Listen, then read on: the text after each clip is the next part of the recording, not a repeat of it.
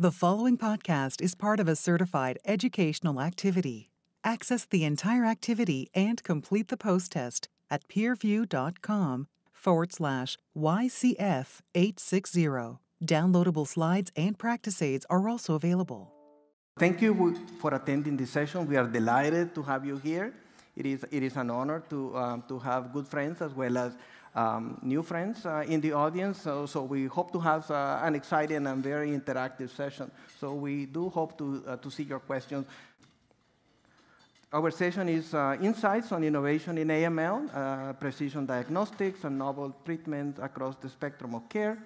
Um, my colleague, Dr. Daver Naval from HemOnc, and myself from MD Anderson will, um, will um, lead the discussion and the presentation. Today we'll focus on um, high-risk presentations in AML, and how to inform uh, treatment decisions and make difference for our patients. So this is an overview of the diagnostic milestones of AML. The CAP, the College of American Pathologists in 2017, also provided guidelines for this on the strength of evidence. Please read about it. It is becoming a quite uh, intense cycle of communication between the HemOnc teams. We meet mm -hmm. at least every week on Thursdays with uh, Dr. Naval and, and his team, and we get feedback. This one has changed the way we treat. We have a familial clinic because we are detecting more and more germline uh, mutations in AML, so that has changed the way the flow cytometry works, and so uh, as, as well as the way we uh, involve the genetic teams on this. So this is a classification of AML based on the 2016 update. And notice that um, uh, several things happened. So the uh, AML with mutated NPM1 and some of the AML with uh, RUNX1 were sometimes hidden under the myelodysplasia-related changes. Now they are listed as uh, provisional entities. In the case of AML with mutated RUNX1, the AML with mutated NPM1 used to be a provisional entity. Now it is a recognized entity, and we will show some features associated with this. They used to present with um, myelodysplasia-related changes, but now those morphological features no longer um, uh, you know, compromise the diagnosis of AML with mutated NPM1. AML with BCR-ABL is now included as a provisional entity because it can be targeted by Gleevec and other compounds associated with um, uh, good responses in these cases. And notice that the category of AML with related neoplasm is decreasing. In addition to that, I was, I was telling some of my colleagues in the WHO classification that if we could capture the AML with 8;21, inversion 16, and APLs with PML RARA, if we could capture 100%, if you and I can identify 100% of them and never miss them, we will have a major good for mankind because that allows us to cure them. Dr. Daver has specific protocols for this. And they present sometimes with multilineage dysplasia. You have seen Tim Ley in JAMA not more than about two years ago showing a case with uh, multilineage dysplasia that was sent to St. Louis for transplant that had a FLT3 mutation, complex karyotype, but it had been missed an, an APL, mm -hmm. a, a, a PML rara. Never forget that it can present with severe dysplasia. And so, so you have to um, remember that th these don't follow the 20% rule. The 8;21s, the, uh, the, the, inversion 16, and the PML raras don't follow the 20% blast rule, and therefore they are being missed. And so I, I, I believe that the CAP also has identified this as a major opportunity to, um, to cure this. If Dr. Um, Daver sent us a patient, um, they, we normally receive them we get about 60 marrows a day. We do a differential count, 500 cells on the bone marrows. We release the, um, the blast count, and we tell Dr. Daver the patient has 60% uh, blast, and the blasts are myeloperoxidase positive. That gets released online to the clinic chart within 30 minutes. So basically, it's a preliminary diagnosis mm -hmm. that the case has AML. If the myeloperoxidase is 100% myeloperoxidase positive, we immediately do immunofluorescence stain for POD, and if the fluorescent stain is positive, it will appear in, the, in his chart as uh, blasts are also um, POD positive, so you will have the microgranular pattern, and so they, they will initiate ATRA. So we do this at midnight, we do this in the morning, it's offered 24 hours. At the same time, they take the smears and they take it upstairs for fish. Cytogenetic fish will, will fish them for the uh, uh, 15, 17, and the fish will be ready the next day. With the automated systems, I think every time a case comes, we do the, the, the stains, and at the same time, three smears go up. They are for fish, for BCR-ABL, because Kantarjian doesn't want to miss a BCR-ABL leukemia. Okay, so the fish is always done, uh, especially if it's eosinophilia. Um, and, and, if you suspect that it has myelomonocytic differentiation of butyrate, we always immediately trigger a core binding factor, uh, either um, inversion 16, and that will be ready the next day. By Thursday morning, they will, the result will be already released in the chart.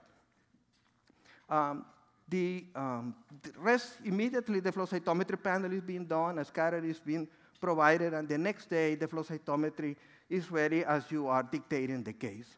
Uh, molecular studies, it gets a preliminary screen, and it has a screening for the actionable mutations that you will see described by Dr. Daver. In this age of advanced state-of-the-art tools, don't forget to get a peripheral blood smear and to review and review information related presence of EPO or colony stimulating factors that might um, change your blast count. These are some of the traditional and new prognostic factors in AMLs that you know.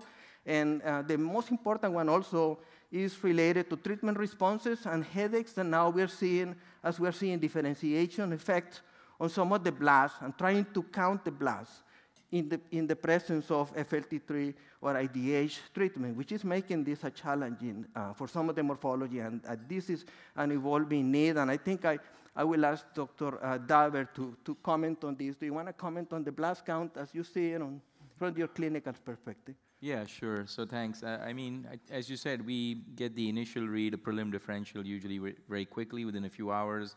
Um, that's helpful, but we usually don't make any treatment decisions uh, based on that, and I'll and you'll talk about and I'll talk about why. Uh, so that's useful, but I don't make a decision based on the blast in the bone marrow. Okay, so you use the clinical data. Well, yeah, clinical data, and of course, most important is fish, uh, molecular, mm-hmm. uh, and cytogenetics data for us to decide treatment now. And okay. I'll, I'll, show you some of that in our slides. Okay. Mm-hmm. So here's a case uh, of a lady, a patient uh, presenting with um, a history of uh, low uh, risk MDS, intermediate one at age 65. Um, in 2013, treated with AZA for 19 cycles. Uh, four years later, uh, developed progressive anemia and thrombocytopenia. The lab results uh, confirmed that. Uh, what tests should you consider in this setting? bone marrow aspirate, bone marrow biopsy, flow, and next generation sequencing. Um, the additional tests uh, show that the bone marrow was hypercellular, that it had 55% blasts, flow cytometry showed aberrant myeloblasts, immunophenotype was consistent with AML. Uh, now she's having TP53 mutation and ASXL1 and complex karyotype. So now this MDS has evolved into an AML with myelodysplasia-related changes with complex karyotype and mutated P53 and ASXL1, and that's usually the way we normally integrate in the diagnosis. So Dr. Daver will discuss what mm -hmm. the mm-hmm. treatment options will mm -hmm. be. Mm-hmm. Yeah. So um, at this point, sometimes we are doing P53 IHC immunohistochemical stains if they're to hit, depending upon the targeted therapy Dr. Daver is using. Uh, you know, we do IHC for P53 and, and, then can follow them by, by protein. And also we are doing BCL2 in case uh, of venetoclax treatment so that we can follow the, the downregulation of the BCL2 protein. So remember that the diagnosis of AML with myelodysplasia-related changes requires 20, 20% or more blast, multilineage dysplasia, excluding uh, cases that are de novo AMLs with mutated NPM1 or cases uh, with de novo biallelic mutation or CEBP alpha, a prior history of MDS, such as in our case, or a prior history of MDS and PN, the presence of myelodysplasia-related cytogenetic abnormalities, except that the WHO removed the deletion uh, 9q, and so that no longer is showing up in the table. I will show you that in a second. and the absence of recurrent genetic abnormalities. This relates to the issue that I was highlighting for you. Please don't lower your guard that you may be missing uh, uh, an inversion 16 or a, an APL. Um, and also, Dr. Daver will provide for us history, uh, prior history of cytotoxic mm -hmm. therapy or radiation treatment. Mm -hmm. Uh, these are some other examples here by Dr. Weinberg, illustrating a case where the marrow aspirate is, was bad, it was fibrotic, but the biopsy was very helpful, and it highlighted the increase in blast, um, the multilineage uh, dysplasia, as well as um, uh, peripheral blood that could be sent for cytogenetics. And so in these cases, the cytogenetics in her report showed that I had minus 7 and deletion 5q. So if you have a failed um, aspirate, a biopsy is very helpful. Touching prints can also, could also be sent for FISH. I have seen that with MLLs too, where the marrow is fibrotic and you have an imprint with ugly looking monoblasts that are not seen in the diff, and then you fish them for MLL, and bingo, they, they, they show the abnormality in there. So um, um, cytogenetic abnormalities, a complex karyotype, three or more abnormalities. However, note that about 78% of cases with myelodysplasia-related changes do not exhibit a prior history of MDS. Um, the, the, the, presence of unbalanced abnormalities, such as the one listed here, and then several uh, balanced abnormalities. So now let's switch to FLT3 uh, mutant AML. Uh, this is Carol, she's 49. She has some um, symptoms, easy bruising, gingival bleeding with uh, fatigue, her uh, CBC shows leukocytosis with thrombocytopenia, 69% blast with nuclear thumbprint appearance. Here's the um, aspirate and, and, the, and the morphology. Um, additional tests that were done included aspirate, biopsy, karyotype, and molecular profiling. So the biopsy again showed aspirate 72% blast, and the immunophenotype was myeloid, there was a maturation with cytoplasmic peroxidase present. Karyotype was diploid. But it had triple hits. It had now FLT3 ITD uh, with an allelic ratio of 0.89. It had NPM1 and DNMT3A. So this is an, uh, an AML uh, FLT3 mutant. Uh, and these ones have been reported by the group uh, the European groups actually, also some of the inhibitors, that the ones like this with the diploid karyotypes that have these triple hits, they actually differentiate. So there were two patterns, the, the, the um, differentiating pattern and the cytotoxic pattern. And the ones that were diploid cytogenetics and had these triple hits, they differentiate, differentiated so that you can see that the marrow continues to be hypercellular, right? It's not empty, but you can see that the blasts are now switching into a more uh, left-shifted myelocytes, metamyelocytes, uh, and you can see that also by flow cytometry. So these are uh, just to remind you of the, the NCCL, uh, NCCN guidelines, and I believe you're going to touch on those. So yes. I'm just going to briefly emphasize this, that you have to be constantly monitoring in this case. In the previous case, you saw that the FLT3 mutant remained the same, but the, the patient was responding, it was differentiating. So um, several markers are also being uh, recommended, um, including c-KIT, FLT3 ITDs, uh, TDKs, NPM1, CEBP alpha, IDH1 and 2, and TP53. The mapping of the molecular assessment across time shows that you have a mosaic. And you need to have a dynamic assessment of this. And actually, you need to be constantly communicating with our oncologist. So that's why I added this 24 hour, 24 7 kind of day, where uh, at least um, in our practice, there is a 24 hour timeline to communicate constantly whether the patient had achieved uh, remission and whether they had remained in remission and, and has uh, uh, retained the CHIP abnormalities, such as in, in, pathway number one, where DNMT3A, the 2 ASXL, it remains uh, in the CHIP. And it's important to put that it is a relapsed AML um, so, that he, uh, so that he qualifies for some of the clinical trials right. that Dr. Daver will discuss. Or he may show persistent disease, uh, but it's one that you can actually manage with IDH2 or IDH1 inhibitors. This is the um, AML uh, assessment by MRT, one of the early publications by Jorgensen and Dr. Ravandi uh, uh, several years ago. And, and you can see that this is basically uh, versus normal. Uh, basically, you use this uh, where normal areas where you're not supposed to see a population within CD38 and CD34 and, and or CD13. So finding areas that by flow should be empty. The, the son, Dr. Jorgensen called these sacred clean sites. So find a clean site that is not supposed to be contaminated. And in, I call it contaminated, but in there, those are good readouts for you to follow up uh, where the MRDs or the, the clones are emerging. So some of these are still, uh, from the molecular point of view, the ELN uh, suggestions for molecular timing are at the time of diagnosis, after, those, after two cycles of induction yeah. therapy or consolidation treatment, and at the end of treatment. And I, I think you will see more elaboration on this.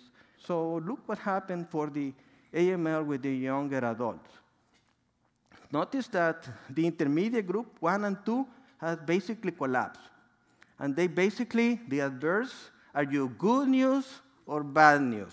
The goal is to try to reduce the intermediate because Dr. Daver can't tell too much to the patient. For the bad news, you can see that it has uh, now the 922 BCR-ABL is there, but they also a mutated P53, mutated ASXL1, mutated RUNX1, uh, uh, wild type NPM1, but with high FLT3 ITDs.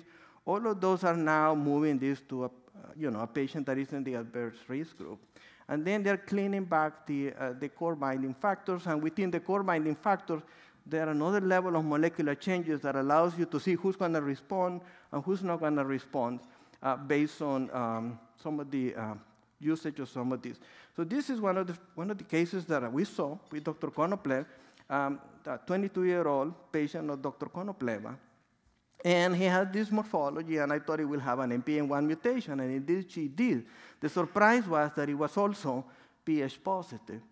So, and she had no history of uh, previous CML, normal counts, well documented, no splenomegaly. To make a long story short, she had uh, no other, the, the, molecular pattern was more that of a de novo AML. Uh, it, did, it never had ABL1 mutations. It didn't have a complex uh, karyotype with a lot of PH positive clonal evolution, such as you see in blood phases of CML. So this was one of those de novo AMLs that we saw. And it goes with the uh, clinical presentation of esosplenomegaly, no, no peripheral blood basophilia, and, and lower uh, bone marrow cellularity with M ratios. So that patient was treated with actually in a combination of, um, you know, um, yeah, venetoclax. Correct. Um, she's doing great.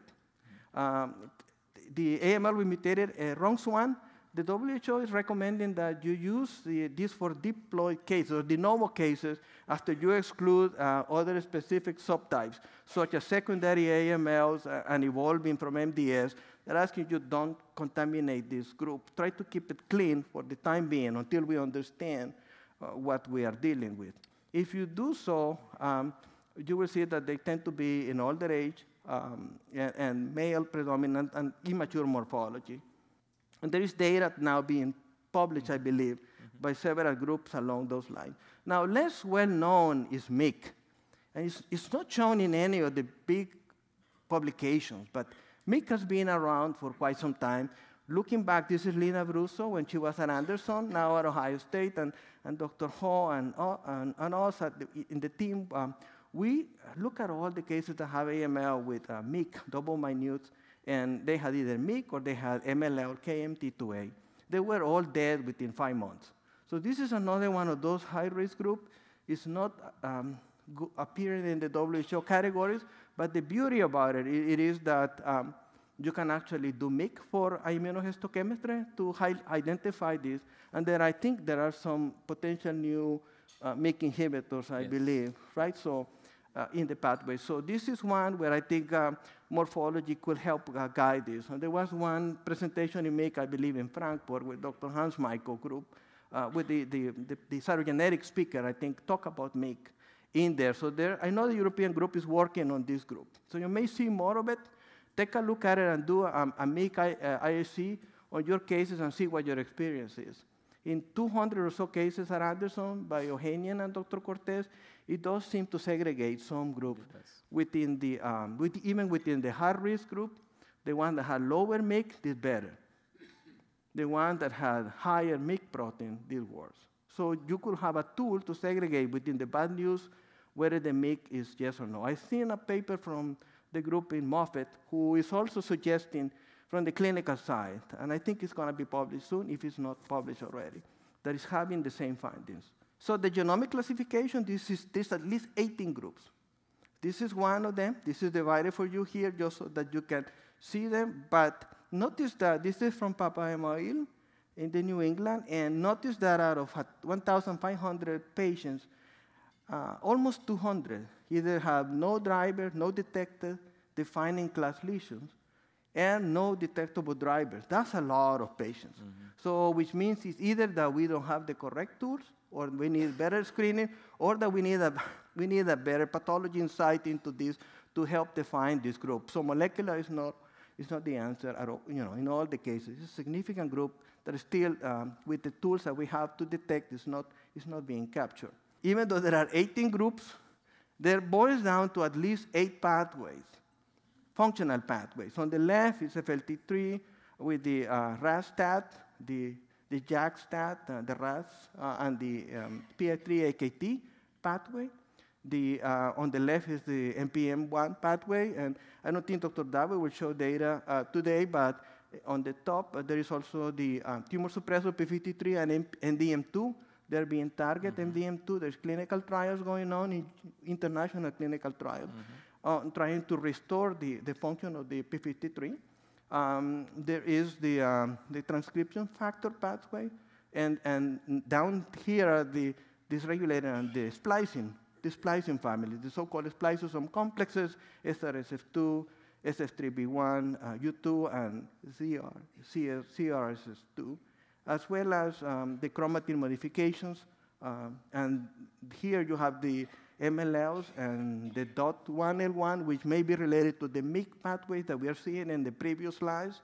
It may be also along those lines. And finally, the DNA methylation, which uh, you will see a lot of data with the IDH2 and IDH1 inhibitors. I think this takes us to uh, Dr. Daver. All right. Uh, so uh, we'll move to my uh, section. Thank you very much. Uh, Dr. Bueso-Ramos, and Dr. Bueso-Ramos said it was good to meet old and new friends. For me, these are pr pretty much all new friends, except for a couple of people. I don't uh, uh, know many of the pathologists, but it's a pleasure to be here. Um, I work at MD Anderson along with um, Dr. Bueso-Ramos. My uh, focus is clinical trials in acute leukemia, specifically in FLT3 and immunotherapy. Uh, we do have a, a, a pretty robust clinical trial platform and now many of these are actually being approved. So uh, we have eight new approvals uh, in acute myeloid leukemia in the last two years. And actually, just yesterday, there was a phase three that read out with oral azacitidine maintenance, which was positive. So this will be the ninth one. So it's quite a fantastic uh, pathway of development. It's happening in AML. And we need more, more help from pathologists, cytogenetics, and molecular. As I will show you, a lot of these depend almost 100% on getting the appropriate molecular cytogenetic data to make the right selection. So historically, what has been the goal of treatment in acute myeloid leukemia? Uh, it has been to achieve a clearance of the disease very rapidly if possible, which we believe is associated with improved survival. And that still is the main overarching goal of treatment. So what we call induction therapy has traditionally been high-dose cytarabine anthracycline, and we use that to try to clear the marrow, and about 75 to 80% of the people were able to do that and people who get clearance have a better chance, about 50%, 40 to 50% chance of long-term survival, but it is nowhere uh, higher than 40, 50%. Now with the new treatments, the approach is changing. We're moving more towards a continuous suppressive maintenance treatment, very similar to multiple myeloma, but still the goal is to get the bone marrow into remission, traditionally still defined as less than 5%, but with MRD, we're having more and more deeper assessments that are also showing uh, clinical impact. So what about the traditional treatment? We already talked about that. Historically, it's been what we call determining if a patient is fit or unfit. Uh, we're seeing there is more and more movement away from this kind of stratification to a molecular cytogenetic based stratification so that people who uh, may be considered fit if they are eligible towards a particular targeted therapy, we will consider that targeted therapy and vice versa. Somebody who may or may not be unfit based on age, performance status, comorbidities, we may still consider adding particular targeted or immune therapies. So I think in a few years, we're going to see less and less of this discussion. A few years ago, this was the major discussion who's fit for 3 plus 7 and those who are unfit, we were giving them hypomethylating agents, azacitidine, decitabine. Now, with the progress with targeted therapies showing that even azacitidine, decitabine in some cases can give you equal response rates to the 7 plus 3, the selection is not really based on fitness, but more on biology because uh, that is improving outcomes. So here I show you the eight uh, drugs that are approved in AML and a ninth one that's in a uh, related condition to AML. It's not truly AML called BPDCN, blastic plasmacytic dendritic neoplasm. I had to try that two, three times before I was able to say it right, so I'm happy we got that. But FLT3 inhibitors are very important. IDH inhibitors are the second important group. Uh, we absolutely 100%, you know, not even 99%, 100% like to know if a person has a FLT3 or an IDH mutation before starting treatment because it significantly, I will show you, impacts the outcome for that patient. Uh, secondary AML, we do have now a therapy called uh, CPX351, which is liposomal uh, cytarabine anthracycline, which has shown in a phase three randomized study survival improvement over standard induction. So we absolutely, again, want to know if somebody has secondary AML. And I'll talk about what we mean by secondary AML. And then probably the most important drug, the, the one that has shown a major breakthrough and will be added to almost all the other things shown here has been venetoclax, especially in combination with hypomethylating agents. We're seeing three times higher response rates than with hypomethylating agent alone and more than double median survival uh, with lower toxicity. So this is really revolutionized therapy. So how do we approach this at MD Anderson? This is kind of a real time 2019 today if I get a new AML, how I'm thinking. So as you see, the first thing that we want to pick up is acute promyelocytic leukemia. 96% five-year survival. We published recently 200 patient update in blood. Uh, the uh, Italians have done an 800 patient randomized study, also showed 96% five-year survival ATRA arsenic. So this is the most curable probably of any leukemia or of any cancer maybe. So we don't want to miss it. We don't want to give these people anthracycline, cytarabine, expose them to uh, cytotoxic, genotoxic. So we want to pick that up. The second group is core binding factor. These are people who have inversion 16 or 8;21 that can be picked up on FISH. We request a rush FISH for all our new AMLs so that within 48 hours we have these results. In this group, there is a specific drug called gemtuzumab, CD33 antibody that we like to add. Addition of that increases the survival by about 20%, absolute improvement. And we published 150 patient update showing 85% five-year survival with FLAG-IDA gemtuzumab. The Germans and the British have also shown very similar 83 to 86%. So you don't want to miss this opportunity to get these people into the 80% cure rate. For the others, we used to say 3 plus 7. Six years ago, that would have been a reasonable answer. Today, it's not. If you have a FLT3, there's standardized approval based on phase 3, adding a FLT3 inhibitor, midostaurin. If you have IDH, this is not yet approved for phase 3, but there's early data suggesting addition of IDH inhibitor could help.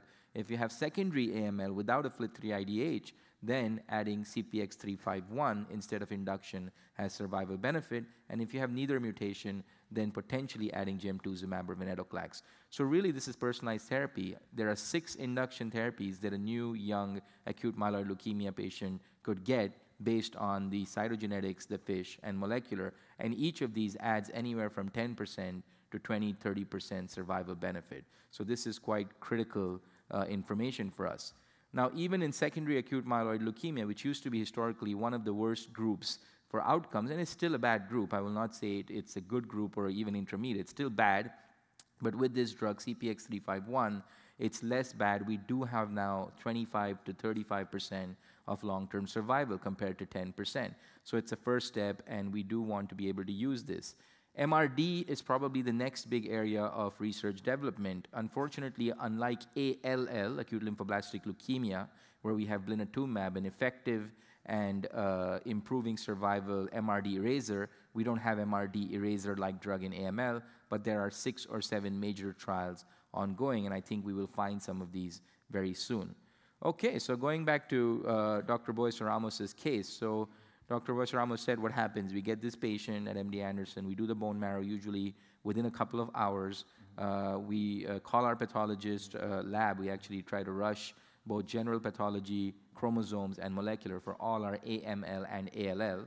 Uh, and then we are waiting for results. So we get the cellularity. That, as I showed you, doesn't really help us. What I need to know is FISH for 1517 APL, inversion 16821 core binding factor, FLT3, IDH, maybe if I have a trial, and then secondary AML, either by FISH, cytogenetic, or history. That's what I need to know. So with just knowing AML, in fact, we are never, ever starting therapy. And this is actually a strong recommendation from NCCN and ELN is to not, which is difficult a lot of times in the community because I give a lot of these uh, lectures and discussions with our community doctors. 10 years ago, the training in big textbooks was the sun should never set on AML.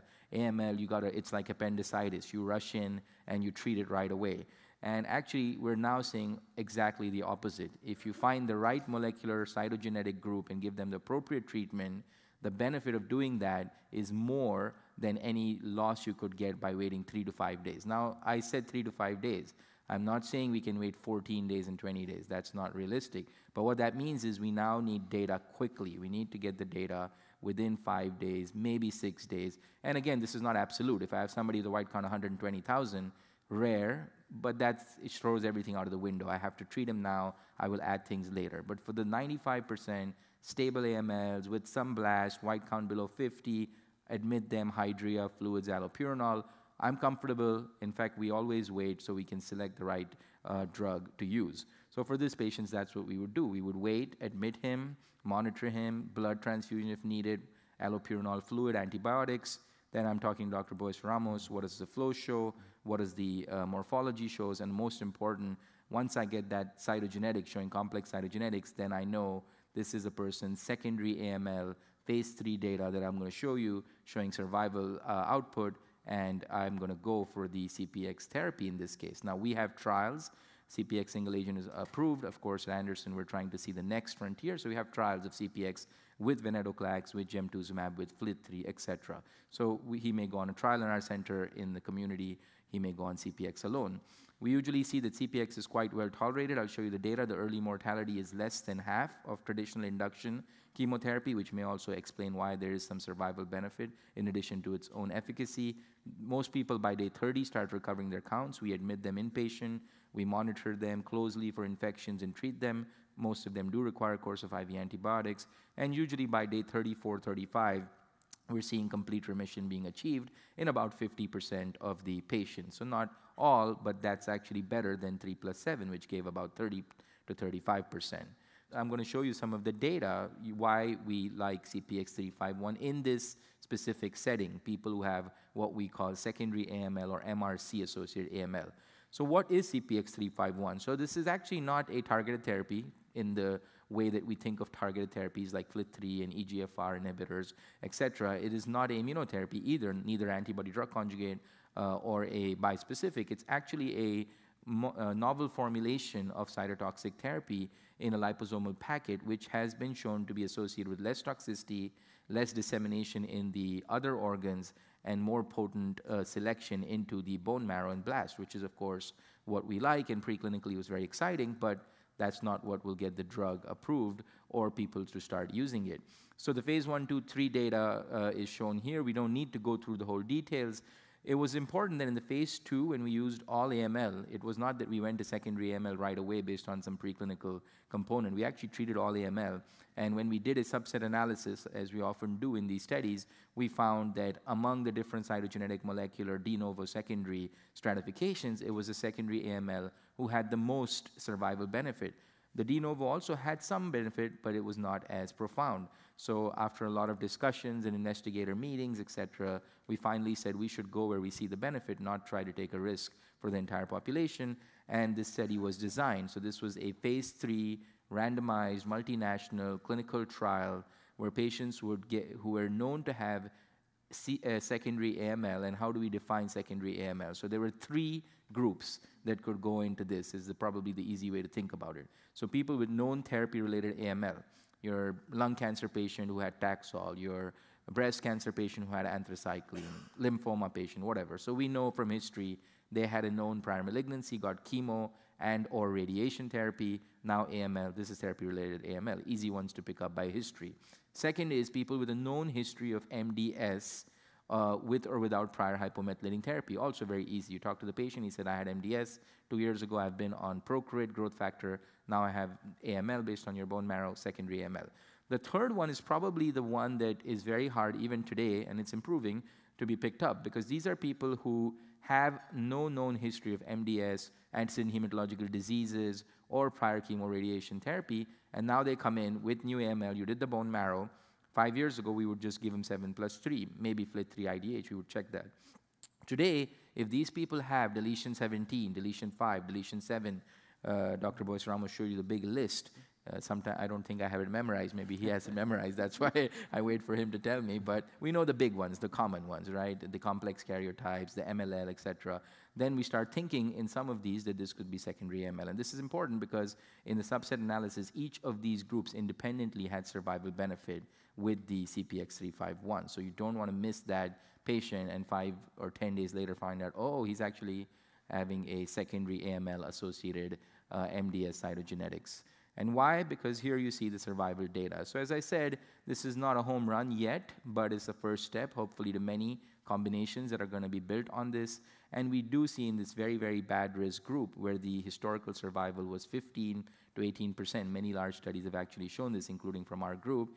We are now getting at least up to 35, 40%, and there is a nice separation that has been maintained at three years and beyond in these survival curves. So we do think there's a real overall survival. As you see at the bottom bar, there was also a response benefit for complete remission with complete remission in complete recovery of 48 versus 33. So more than 50% improved response rate, which is quite good.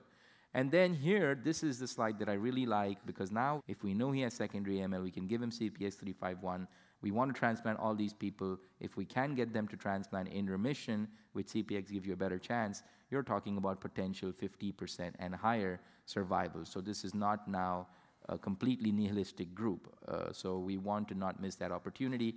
The point being made here is that in people above 60, where this drug was approved, some said, well, this is still cytotoxic therapy, which it indeed is, uh, and I don't want to give it above 70 because I'm worried, I'm concerned the benefit will be lost. So we did a subset analysis. We saw that it didn't matter 60 to 69 or 70 above. There was a maintained survival benefit in those populations, and there's no reason I would not consider it in a person up to 75. Of course, you have to look at comorbidities and organ function, uh, etc. Importantly, we see that the early mortality, as you can see, is almost reduced by half with the CPX351. And large part of that is probably because of the mucositis being lower than we see with anthracycline. And that's what's shown here again, that the 60-day uh, mortality is 10 to 11% compared to 22%. We still consider this, as I said, cytotoxic therapy. They get mucositis, lower extent, but they do get it. Neutropenic fever is still common. IV antibiotics required. So we usually treat these people in patients. This is not targeted uh, molecular therapy that we could do it outpatient, but it's a better form of delivering a cytotoxic therapy with more efficacy. Okay, so moving from that case to uh, another important molecular stratified case, this is a FLT3 case. So this is a, a very, very, very important uh, group of patients because we now have multiple FLT3 inhibitors that are probably all going to be used eventually, like in CML, in different sequences. And I think this will really, really improve the survival of these patients to 80% or beyond, which is what we're already starting to see in some of our trials. So this patient comes in, a high white count to some extent, has high bone marrow blast. Again, I call Dr. Bueso-Ramos. Let's rush, please, the FISH, the cytogenetics, the flow, the morphology. Uh, what we have is two molecular panels. We have what we call a rapid molecular panel, which gives us 10 genes that are actionable. So your FLT3, your NPM1, your IDH1 and 2, your TP53, CBPA, RAS, and a few others. That comes to us in 72 hours, and I don't start treatment in most patients before doing that. Then we have the big 81 gene research panel, you know, help, we look at it retrospectively, try to find what's the impact of CBL and what's the impact of EZH, and all these publications keep coming. But in 72 hours, we usually are trying hard to get our fish, get our morphology, get the molecular. And a lot of people say, oh, this is MD Anderson only. Actually, it's not. So, in fact, here the Europeans, I have to really uh, commend, and the German group especially, is amazing. So they have a lab, centralized labs, where the whole country of Germany, I was there for a couple of talks last year, within 72, in fact, 48 hours, are getting molecular testing. So this can be done in a nationalized scale. Australia, it's about 70 to 96 hours. England is getting now below five days. So this is actually happening in nationalized uh, systems, of course, with a lot of effort. All this takes years, years, and somebody championing it very hard. But but it's actually happening. And in the U.S., most academic centers have about a three to five day turnaround. In the community, it's improving, but we're still uh, not getting it seven to eight days, not below that. But it'll improve. So this person got a, a, what we call a standard induction, 7 plus 3, with the midostaurin, which is a FLT3 inhibitor, also called Ratify, had a re response. 80%, 75 to 80% people achieve a remission Uh, with this therapy, CR plus CRI combined. And in this person, you want to take them to transplant. Now, unfortunately, even after you do everything, about 25 30% may relapse. And for that, we have other FLT3 inhibitors being developed in the relapse that are also quite active. So we're going to start thinking about those. So these are all the FLT3 inhibitors, so quite a exciting time. As you can see, we, we have one already frontline approved, two others approved, one in the United States, a drug called gilteritinib, very potent second generation FLT3 inhibitor, and a second one, quizartinib, which got approved in Japan, I think it was last month, in fact, and hopefully will also make it into the United States in the near future based on a couple of other ongoing studies.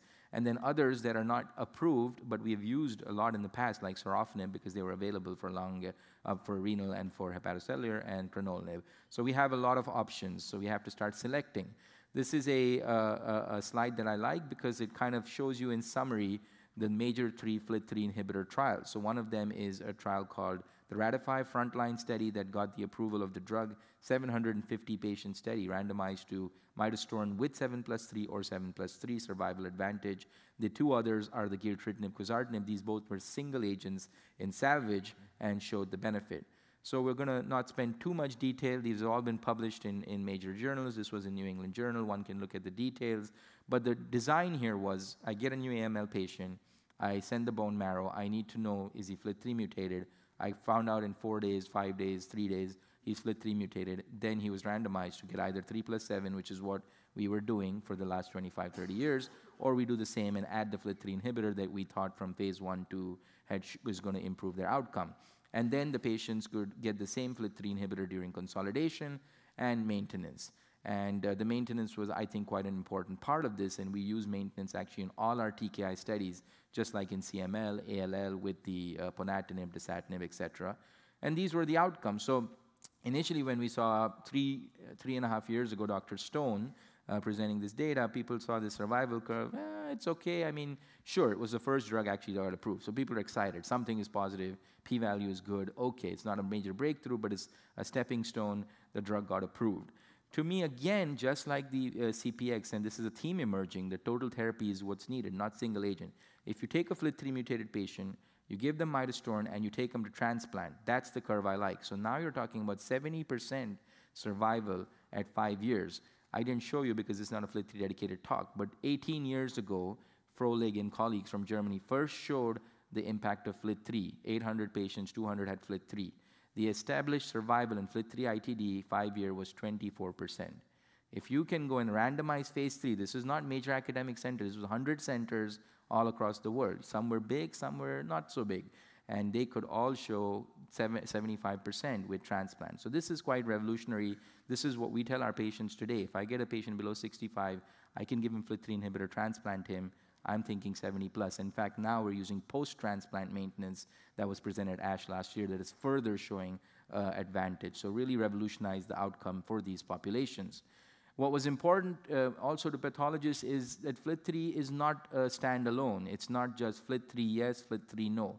If you look at the ELN that Dr. Bueso-Ramos showed, FLT3 was in all three categories. It was in favorable, it was in intermediate, it was unfavorable. So if all I get to know, and in the community this is a problem, which is hopefully is starting to improve, FLT3 positive, it actually doesn't give me any information. He could be a FLT3 low with an NPM1 mutated, that's favorable. He could be a FLT3 high with an NPM wild type, that's unfavorable.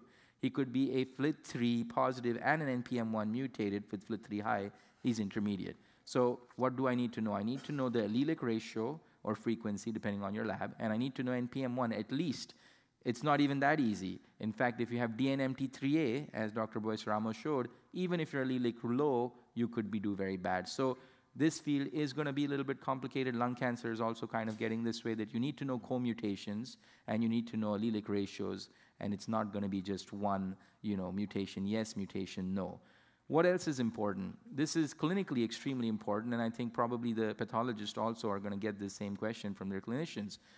So people will say, I gave 3 plus 7 midostaurin uh, in 2016. The person did well. He went to transplant. He relapsed two years later in 2018. I'm going to go and give him gilteritinib or quizartinib uh, because these are approved in Europe and Japan. No, you cannot do that. Why? Look at the data here. So these were people who got 3 plus 7 midostaurin and relapsed, and then we repeated in a handful. We didn't have all the samples, but in this group of about 70 patients or 60 patients, we had some samples, and we showed that a number of them almost 40% were FLT3 non-detectable at relapse.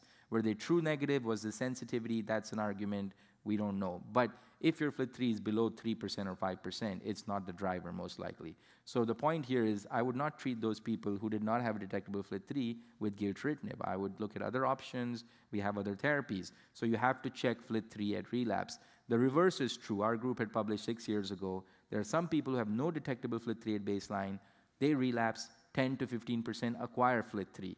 So the right thing to do is before you start a relapse FLT3 inhibitor, you need to know if the FLT3 is still positive or if somebody acquired a FLT3 and now maybe gilteritinib or quizartinib are good options. We don't see the same for IDH. It's a more stable clone. FLT3 is a more fluctuant clone. So this is some of the data with uh, one of the other FLT3 inhibitors, quizartinib in the salvage.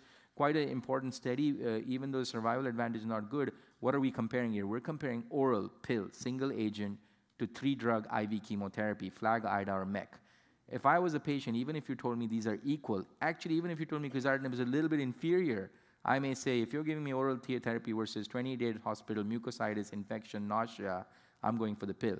This was actually not powered for inferiority or equivalence. It was powered for superiority, and it actually met that. Now, in the end of the day, this will all be used in combination, so we think it's a good step. The same with the gilteritinib also showed as a single agent relapse AML, it was overpowering, almost doubling the response rates of three drug potent IV chemotherapy. Quite, quite fascinating. We don't actually see this that much in solid tumor where the oral agent completely beats three or four drug IV chemotherapy. So this is quite nice. The drug is approved. Again, you see post transplant, if you continue to use it, you have a better survival outcome. And most importantly, both of these are being used upfront with induction as well as with hypomethylating agents, and I think that's where we're going to see the real impact. Uh, this is regulatory approval ways to get it with a single agent. We never really think any single agent in AML is going to change the landscape dramatically, but it will be combined. Another important thing here was presented at ASCO two, three months ago by Dr. Levis, one of our FLT3 experts. Uh, he's from Hopkins, and showed that it didn't matter. I remember I told you it matters what your muta- co-mutation is for the prognosis.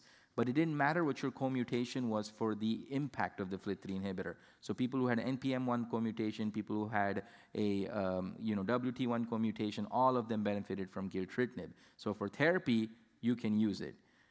We are now looking at a number of other important pathways. So the story is really just beginning, which sounds crazy after nine drug approvals, but I really think this is the truth. Now we're going to actually start having the ability to do all these cool combinations, which scientifically show that we should improve the outcome. And we know very well uh, major mechanisms of resistance to FLT3, and all of these combos are actually in clinic in phase one, two setting. And in the end, I'm going to say briefly about the IDH inhibitors. These are both approved. These were both used in salvage setting. Both of these were single agents, but were compared to very robust historical controls. One was actually from our group and showed that they outperformed high dose chemotherapy in the IDH population and they're extremely safe. So the FDA actually approved them on single arm 200 patient study using a prospect, uh, um, uh, historical control in the contemporary time period. And we think that they are great drugs, but again, combining them with HMAs, combining them up front, is probably going to be the most important step. The big conclusion here really is that the field is changing dramatically. It's fantastic.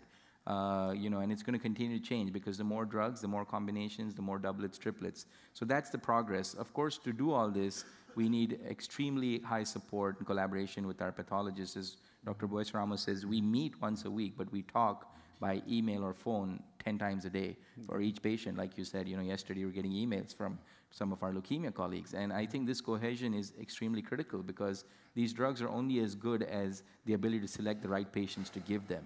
So if we cannot know the right patient and we cannot know it in timely manner, then we don't get the benefit, even though the drug may look great in some study.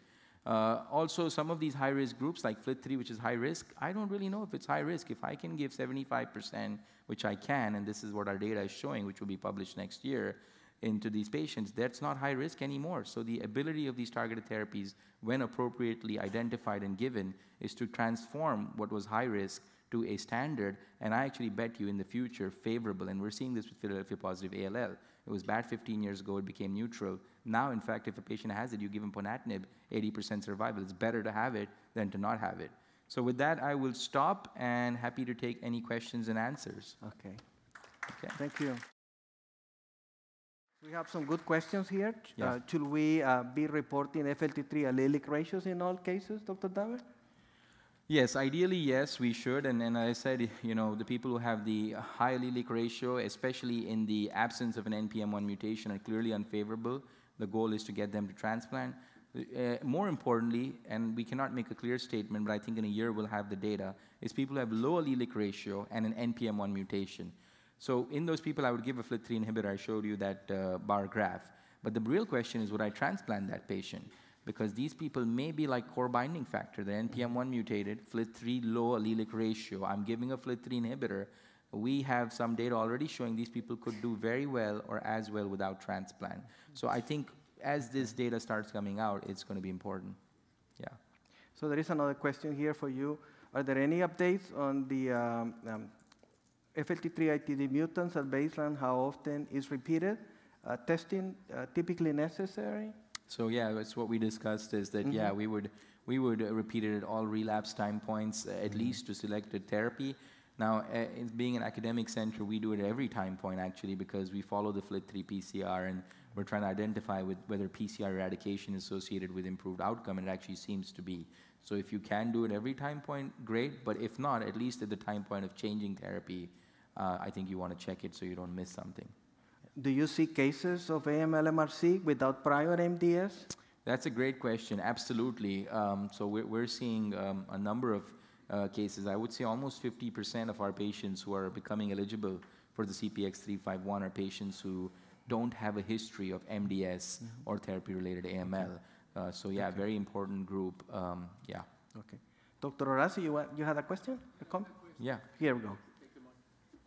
Okay, right there. Thank you very much. No, excellent presentation. My question is very simple. Uh, you show secondary AML, but you did not include blastic phase or myeloproliferative disease. Do we have good news in those as well? No, that's the sad answer. Unfortunately, all these trials uh, and excluded both the blastic phase, both the VIX CPX and the AZA venetoclax. And in the AZA venetoclax, we have data that will be presented soon that unfortunately venetoclax does not work well in the blastic phase. Maybe BCL-XL inhibition, not BCL2, could be good preclinically, but at the end of the day, we're doing things like HMA, hypomethylating with RUX, median survival is 10 months, and that is probably between TP53 and that, I don't know which is worse, and they go together often. Those are probably the two most horrible groups. Yeah. So I think it highlights Dr. Horacio's emphasis to please don't call AML without saying that this is a blast phase of AML because it's a different, complete animal. From MPNs It's a especially, yeah. completely different animal. Yeah. Um, and so, um, do, uh, do you have uh, any use for next generation sequencing as part of the baseline um, diagnostic assessment? Do you always use next generation sequencing? I, I, you know, I think I showed you the data and the diagram. Yes, we always do. We even expedited it. So basically, what Patel does is he goes, uh, you know, in one read, and he releases a preliminary on the computational data set. So he releases a preliminary on the hits, on the muta- and then the second read, uh, you know, confirms that these are really the mutation. That, but, but that allows him to pull a preliminary quick read. And then, uh, I don't know if Dr. Loghavi would like to comment on that. Do you have a, a comment on the preliminary molecular? Do you have a please for Dr. Loghavi? Just aware, one of our molecular experts at Anderson, Yeah. the preliminary panel for next generation. Yeah, Yep. we have 10 genes that we report um, basically within 48 hours. We can turn yes. that around within 48 hours. Among those, we have NPM1 because basically it, um, it's a diagnostic category, With right? It changes the diagnosis. Um, IDH1 and IDH2 because of the reasons that you alluded to, because it changes therapy. We have some MPN-related genes, including JAK2, uh, MPL, and calreticulin, because again, they affect diagnosis. Um, and then um, we have SRSF2 and SF3B1. Thank you for this excellent uh, t- uh, talk. I have uh, just a question concerning uh, the overexpression of uh, MYC protein that you showed by immunohistochemistry. Is this identical with the uh, break in the MYC gene or wi- with MYC amplification? Because in lymphoma it's not identical if you Uh, stay in there's- yeah, cases. so good question.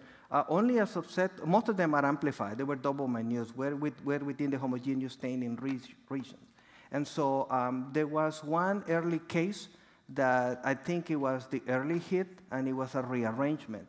And that was also reported by Lynne Abruzzo, one of the hem-oncologists. yeah. So I think there is a story developing in MYC, and in that one, when it's one hit, it behaves very aggressively because that patient died very quickly and created a lot of problems diagnostically for us because the sample was fibrotic at that time and, and so on. So there are multiple pathways that are leading to, um, I think there are, there are some other ways by which MYC is deregulated uh, that I think we need um, to, we look at RNA um, overexpression or, and so the data related to the rest of what deregulate MYC is still unknown. But you can look at the, uh, uh, I think the, the, the group in um, Florida, what's his name? The Moffitt group uh, is, is coming up with a detailed publication on the group of discussed today about MRCs. And I think that will lead some, um, some more insights into the mechanisms. Uh, should we include uh, MYC immunohistochemistry in the uh, AML uh, panel if we, uh, if we have enough money to pay for it? I don't think it's recommended yet because we yet. don't have enough data. We need to have more uh, published data to be um, recommended, but we are doing it. Yeah. Very, so here's a question. Uh, so this is uh, Dr. Daver. How often do you and Dr. Bueso-Ramos consult when managing a given AML patient? So we're actually consulting on the phone right now. I heard Carlos is emailing me. No, but we, we email. I mean, it's not always Dr. Bueso-Ramos. Could be Dr. Loghavi, Wang, uh. We have a, a group of hempath and group of leukemia. But I would say, you know, for every patient, at least at the beginning, to get a rush, and then at least one or two more time points, uh, we will review it. Um, sometimes more if it's a more complicated patient. So very close communication, and email is a blessing and a curse in that way. So yeah, but it is very close. And, and MR, MRD, I will get an email from Dr. Sawan. It says, Carlos, I don't think that's still positive. I think it's negative, you know, so I have to go to her office and review the flow and the MRD and apologize if I miss something, or vice versa. The, the lower it gets and the more detailed, the more um, your report is now integrated with some MRDs by flow and by, um, by molecular. And Yeah. so it's just a matter of uh, in- integrating and, you know, I guess learning to be, um, you know, humble at that time. You get quite uh, humble very quickly. Yeah. And one of the other last, I'm going to do a last question here um, about, you know, somebody says, any advice on how to replicate the comprehensive MD Anderson diagnostic model at a busy community center? Uh, as I said, nationalized groups um, with a very, uh, you know, centralized focus and a lot of efforts have done this. Actually, foundation medicine, neogenomics, GenOptix, you name it, we've actually worked and had a lot of them come and give meetings. They can turn these around in 48 to 72 hours, but they need somebody to call them and they need it to be rushed. If you send a normal panel, it takes 14, 21 days. But if you need a FLT3, if you need an IDH, somebody in that clinic or the hempath group or the physician assistant, whoever calls it, they say in 48 hours they will give the results. So uh, part of this is just, I guess, the push and the effort uh, that it's actually uh, will get it done. It's not that the technology is lacking or missing. And if Dr. Daver's clinic did not suspect a relapse, and we see the diff with increased blast, and I see that they did not order molecular, I, as soon as the flow finishes, I immediately, we reflect that immediately to the molecular lab, so that the patient gets captured and we notify them. That way, we, you know, we expedite the next assessment for the next targeted round. Yeah. So that requires just an email, uh, you know, with the tools now with Epic Sync, I think uh, you will get more Okay. functionalities to communicate this in, in a real time. Absolutely, yeah. So thank Okay. you. To, you've been a fantastic audience. Thank you Yeah, for coming. Thank and you all very time. much. Thank you. Have a good day. Bye. This activity has been jointly provided by Medical Learning Institute Incorporated and PVI, Peerview Institute for Medical Education. Thank you for listening. Download materials and complete the post test for instant credit at peerview.com forward slash YCF 860. This activity is supported by educational grants from Foundation Medicine Incorporated and Jazz Pharmaceuticals Incorporated.